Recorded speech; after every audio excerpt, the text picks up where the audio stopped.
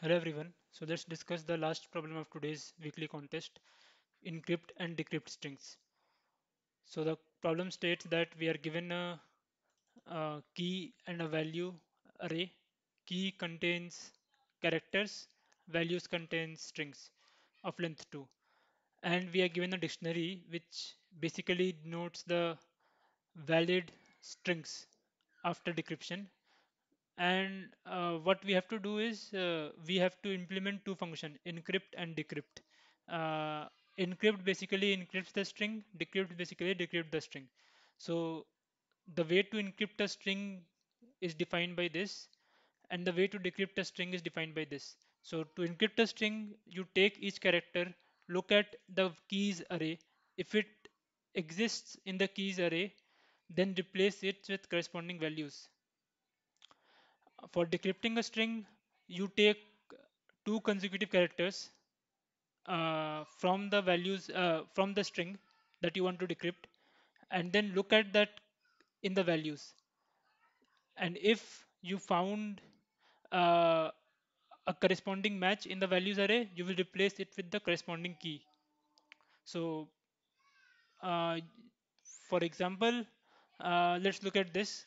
So, let's say uh, this ab this this is the given string that we need to encrypt so to encrypt what we have to do is look at and this is the uh, map like a corresponds to ei c also corresponds to ei and so on and so forth so we need to encrypt this. So first is A. So first A corresponds to EI. So we replace it with EI. Second is B.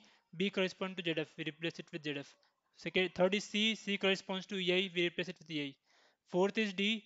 D corresponds to AM. So replace it with AM. So this is the encrypted version of this string. Now the reverse operation that is decrypt operation decrypt operation is basically let's try to decrypt uh, uh, ei zf ei am okay so to the decrypt decrypt operations basically states that take two characters at a time. Look at it in the keys array. Uh, we have a, we have a found we have a match. Now replace it with any one of these. So we can replace it with a or we can replace it with c. Now move forward. We found zdf zdf is also there. Replace it with the corresponding character. So it will be b and again the second string can also be b third is ei again ei corresponds to two character a and c. So uh, there will be like two strings possible from this a b a. And second string is a b c. And similarly from here two strings are possible because ei corresponds to two different value uh, two different keys. Uh, so cba and cbc okay.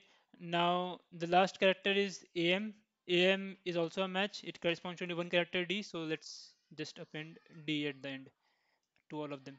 So these are the four uh, these are the four uh, strings that we can form by decrypting this string.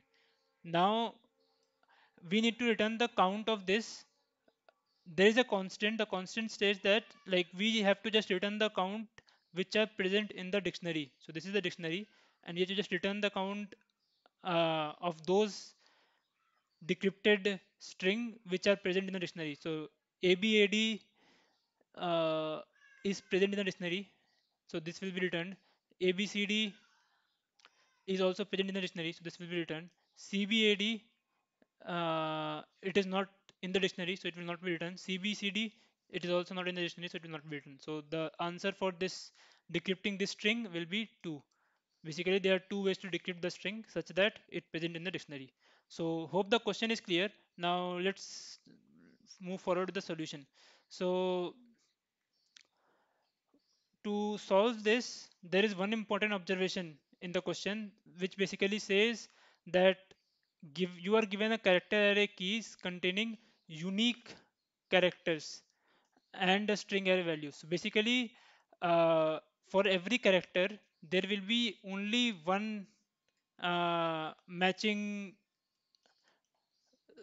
replacement. Similar but the reverse may not be true. Like uh, for, for example ei corresponds to both a and c but a corresponds to ei and c also corresponds to ei c can't have two two mappings because it is given that the key contains unique characters so with this uh, we can uh, we are sure that encryption encryption operation uh, will give us uh, one unique answer, right? So there will be only one unique answer for every encryption operation. So what we will do instead of uh, uh, so first is like encryption option encryption, operation is very straightforward.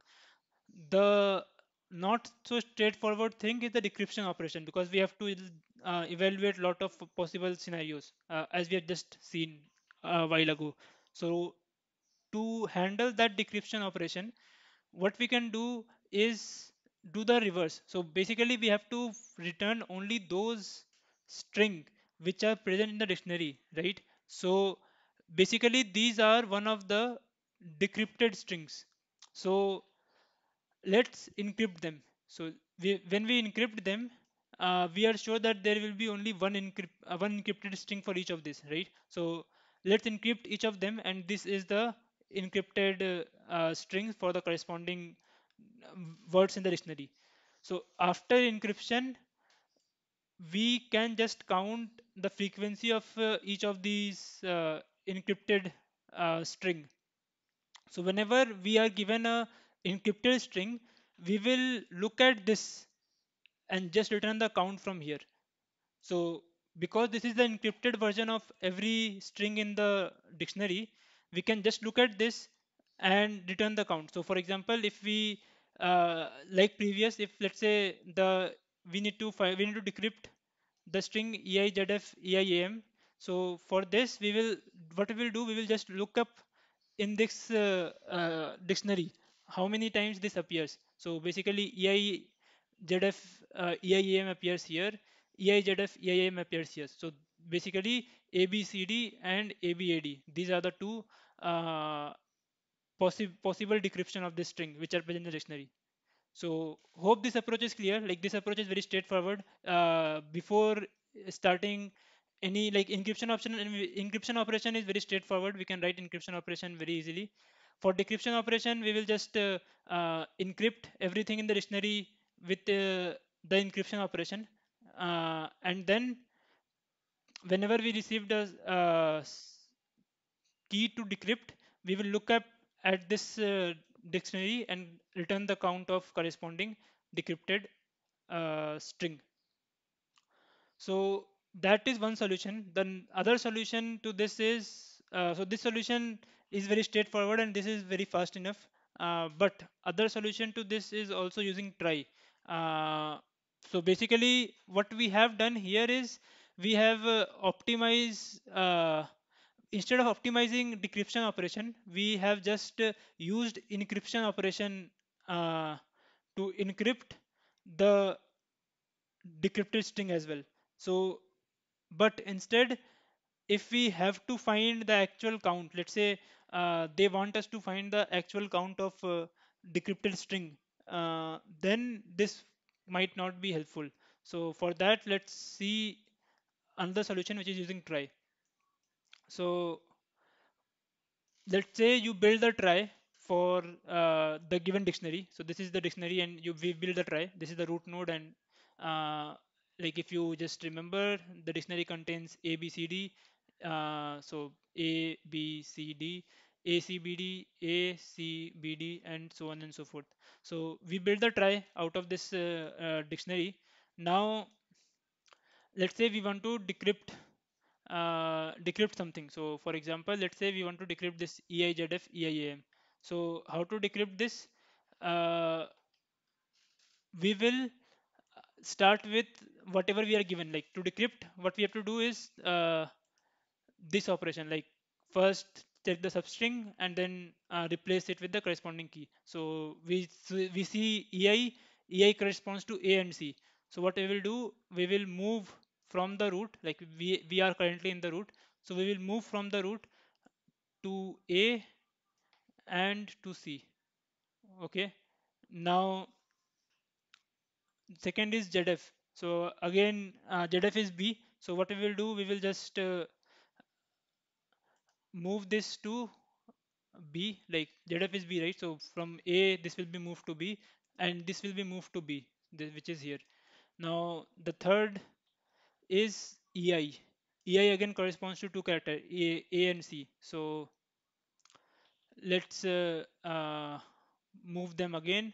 So first let's move to a and we have to move another one to c right? So that is so let's take another like we will build another pointer that will point to now c. And similarly let's move it uh, move this pointer to c. There is no c at all so this pointer will be destroyed. Now the next string is am am corresponds to d. So let's try to move the pointers again. So this will be moved to here this will be moved to here. And at this stage we are at the end of uh, two strings in the trie so the answer will be 2 so hope this approach is clear. So basically after building the trie we will keep maintaining a list of pointers and we will move forward that list of pointers as per the rule. So let's uh, do it one more time for one more example. Uh, let's say the so let's remove all this. Sorry. So now let's say the decrypted string is instead of this let's say the decrypt uh, we want to decrypt f or maybe a a okay? So let's say we want to decrypt this. So we will again do the same thing. We have ei ei corresponds to a and c. So let's take two pointers. First pointing to a second pointing to c. Then the second is zdf zdf points to b. So let's move this to so let's uh, move this pointer to b and uh, let's move this pointer to b. Now third one is uh, a there is no a in the uh, corresponding values array. So we will just move both of them one by one with a. So first we will move through a. So we will move this with a. And because there is no a behind so if this pointer will be destroyed. Now second one is also a. So we will just uh, move it we will try to move it to a but there is no a so this pointer will be destroyed. So at this point we have uh, exhausted everything like we don't have any pointer in the uh, in our trie so we will stop here. And we will just return 0 for this decryption. Like there is no possible decryption which is present in the dictionary.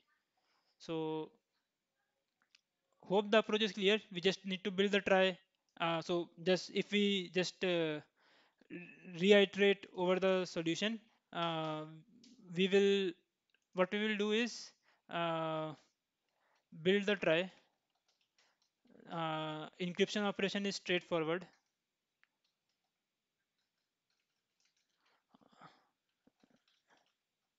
And for decryption operation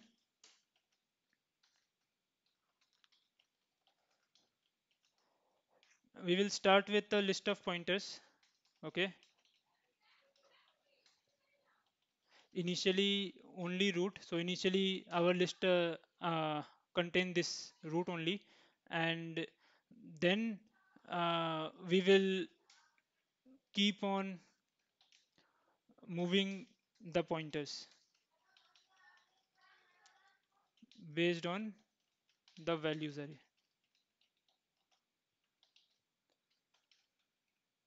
so so this is the basic algorithm that we will apply. So let's uh, see the implementation of this. So what uh, so this is the trie and this is the node that we have and this is the encryptor class. So let's uh, look at the constructor of this encryptor first so what we have done is we have just populated key to value and value to key array uh, key map uh, maps. So we have two maps, key to value and value to key.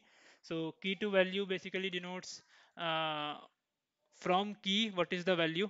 So I initially populated everything with uh, the corresponding character. So A points to A, B points to B, C points to C, and now when I receive something, I will just populate it with the corresponding values array. Now for value to key, and just inserting the corresponding keys and then I prepare the trie and insert everything into the trie. So at this till this stage, uh, what we have is we have this entire thing built with us, and we have this map as well. So let's see how to decrypt. So encryption operation is very straightforward. Encryption operation is just uh, we take the result, look at the key, add it to the result, and return the result. So that's the encryption operation. So let's look at the decryption uh, decryption operation. Uh, so decryption operation basically uh, states that we will take a vector of node which is the current roots uh, current uh, pointers that we have initially we have only root with us so initially this is our pointer uh, now we will move for each character we will prepare that two length string okay and we will find it in our values mapping. So we will find it in this map okay?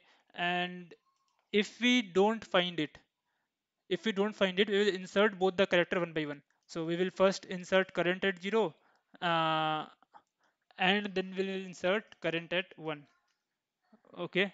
Uh, so i think the test cases are weak so that's why it was not caught. So that's okay. So we then we will insert current at 1 so move forward is basically a function which will just move the pointers move every pointers in this array one uh, position forward and give us uh, populate it in the new array.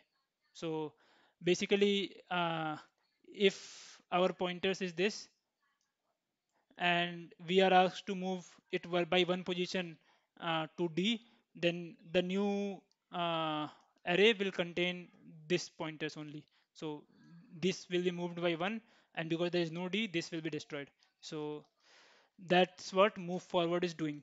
So we'll look at the implementation. So move we will just uh, if we don't found the mapping we will insert both the character first current of 0 then current of 1 and if we do found a mapping for each mapping we will try to insert uh, that character into the uh, possible set of mappings. So basically notice that we are erasing this uh, possible from here because we want to move forward one more position. But in here we have to move the previous positions with one forward. So basically the difference is uh,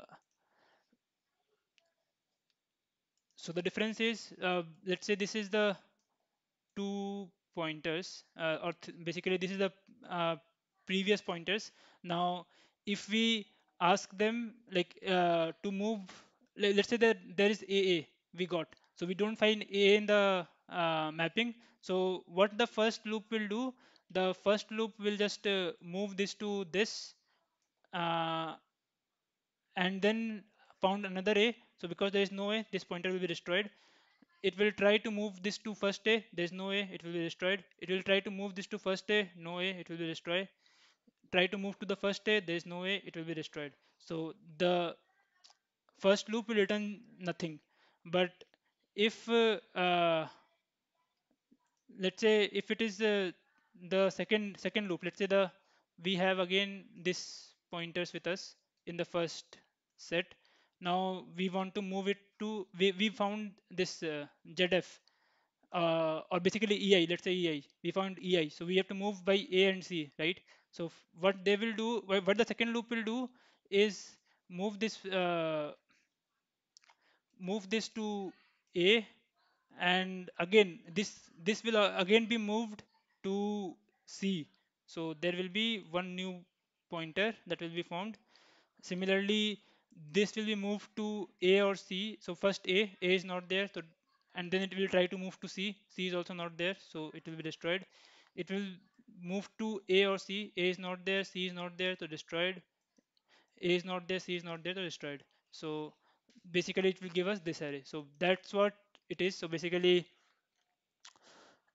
that's why we are clearing this in the previous iteration and we are not clearing this and just appending to the original array.